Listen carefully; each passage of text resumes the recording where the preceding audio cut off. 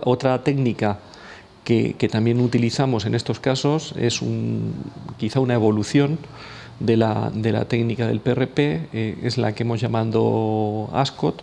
que básicamente en lo que consiste es en instilar en los ovarios de la paciente un preparado rico en células madre de la misma. ¿Y cómo conseguimos esto? Pues esto lo conseguimos utilizando un tratamiento previo con lo que llamamos un factor estimulador de colonias que eh, tiene la misión de provocar esa movilización de las células madre de la médula ósea de la paciente para, eh, una vez que se hace la extracción de sangre, rescatar